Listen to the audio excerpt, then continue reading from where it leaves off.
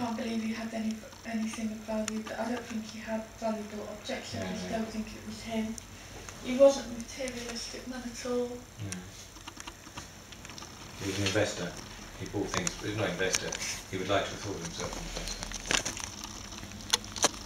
What do you mean he bought things? He'd like to buy things and sell them. Mm. You know, he wanted to make money doing that.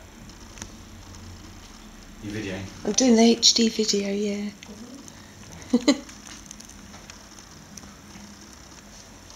And my carpet looks a lot better in, in It looks great on video too. I think it's fine.